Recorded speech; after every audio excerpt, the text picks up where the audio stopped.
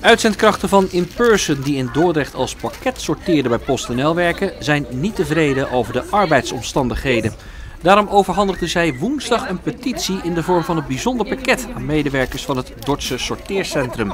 Het was een uh, gouden doos. Uh, dat is een symbool van onze werk. Symbool van onze pakketjes. We moeten elke dag uh, tillen met, met de andere vrouwen. We willen die geven naar die in-persoon. voor te zien hoe zwaar is ons werk. Ja, de, meestal vrouwen hebben een rugklachten. Omdat ja, dat is heel zware werk. Die buikklachten. Hoe, hoe heeft PostNL gereageerd net? Ze reageert niet. Ze lachen van ons.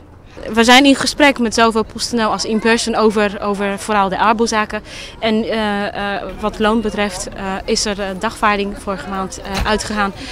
Um, want dat, dat is nog niet waar we het eens over zijn. En we gaan zien hoe gaat het. Ik hoop dat dat geeft invloed voor, voor de atmosfeer in de werk. Dat is ook belangrijk, omdat we nu geen zin om naar het werk te, te komen.